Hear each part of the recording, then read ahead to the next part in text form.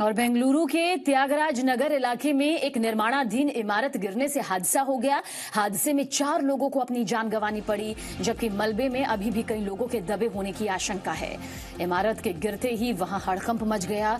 कुछ देर बाद फायर विभाग के अधिकारी मौके पर पहुँचे।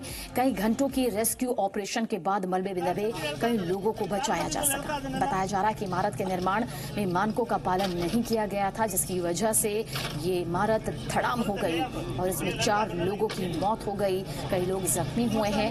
हालाँकि रेस्क्यू के ज़रिए कई लोगों को ज़िंदगी भी दी गई।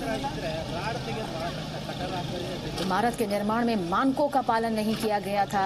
शुरुआती तौर पर ये बात सामने आ रही है, जिसकी वजह से देखिए किस तरह से बिल्डिंग यहाँ पर ढह चुकी है। दो तस्वीर, तीन मंजिला इमारत गिर गई। मलबे में ज़िंदगी की तलाश यहाँ पर। रेस्क्यू की टीम करती रही।